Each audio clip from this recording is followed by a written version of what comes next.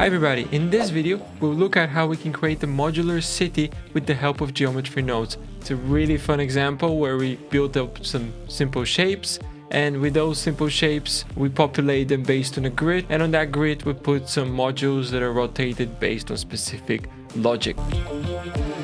So the first thing we'll do is create a grid. We want to use 6 meter modules by 3. So we get our grid there, but that's the total size. So we need to output a value and that's going to be our grid size. And then let's have an integer that tells us the vertex numbers. Now we can multiply the two together with a math node. We can change this to multiply and then that will be our total size for x and y. Doesn't matter, it can be a complete square at the moment. Right now we should have a 5 meter grid, but you can see it's not quite 5 square. So if we count one, two, three, four, five, and a little bit. So what we need to do is add another vertex.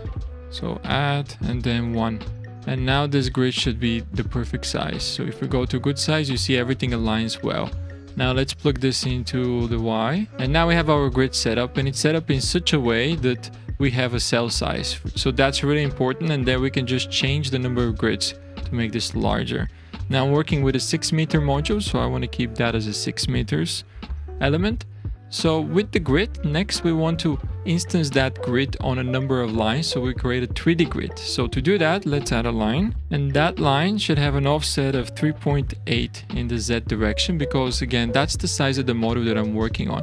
Next, let's put an instance on points. So these will be the points and this will be our grid. So now we have a 3D grid. If we change the number here, it changes the height. What we can do is create the grid and make it points. So mesh to points and vertices is fine. So with our grid now ready and in good shape, we want to filter only what's inside of our building. To do that, we'll use the raycast node. So shift A, search for raycast. And we'll use our geometry input into here. And now let's use a separate geometry node, which separates the geometry based on a specific selection. And here we'll say whether it is hit or not. We have to realize instances in order for this to work correctly because we have our points, but each floor of points is considered separate.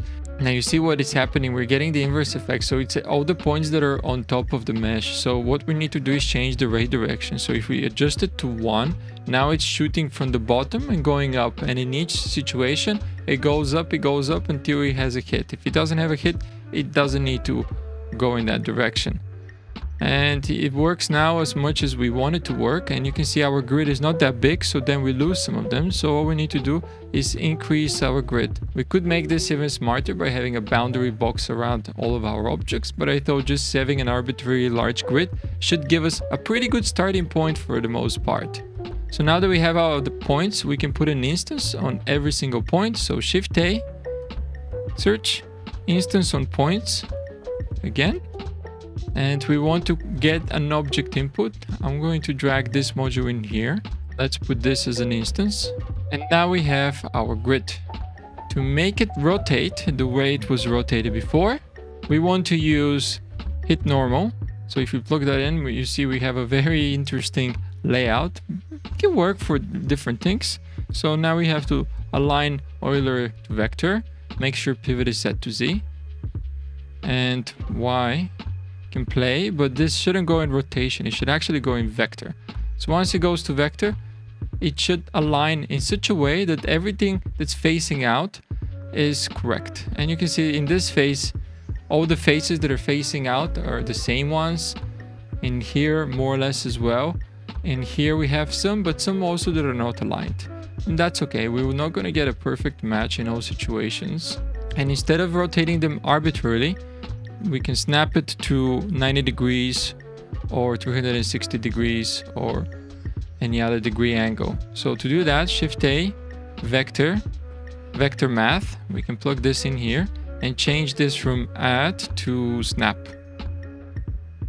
And now it snaps in all directions and we want to change the increment and we're only interested about the Z. So let's add a value which is going to be pi over 2. So that's 1.571. And next, combine x, y, z. Let's plug this into the Z and this vector into this vector here. And now you can see that all of these, even though they're rotating, they're snapping to the closest angle, whatever that angle might be. If we're not satisfied with the angle, we can change it by adjusting our vector.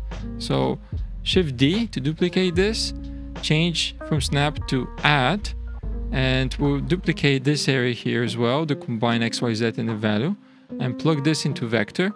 And now we can try different elements. So this is pi over 2. We can try pi and all of them rotate again, or pi uh, plus pi over 2, and we get this kind of rotation. So if we have a more straightforward volume, I believe all of them should rotate more in their correct orientation. Let's do another one. So Shift D to duplicate this edge, E to extrude the edge, and E again to extrude that. And you can see our grid is ending, so we can put something like 16 there. And let's add more floors. Right now we are at 19 floors. So all of these should be facing the correct way, but we might not be happy with the way that they're facing. So I'm going to leave this value at pi and let's add a multiply math node. Here I'll put pi over 2, change this to multiply, add an integer, plug this into the integer, and we'll plug this into z. So we can get rid of this. And now let's see what's happening. This is add, it should be multiply. Now the rotation, I'm not happy with the rotation because it doesn't seem to be doing much in this case. And that might be because in the previous example, the way I did the raycast was slightly different. So let's try the same thing here. Let's add a transfer attribute and for the source, change from float to vector, plug this in, type normal. So we want to get the normal direction from our input geometry, from the base geometry. And if we plug this in into ray direction, and we need to change this to nearest, Let's see now. Yes, so the normals are slightly different and they give us better rotation of our faces.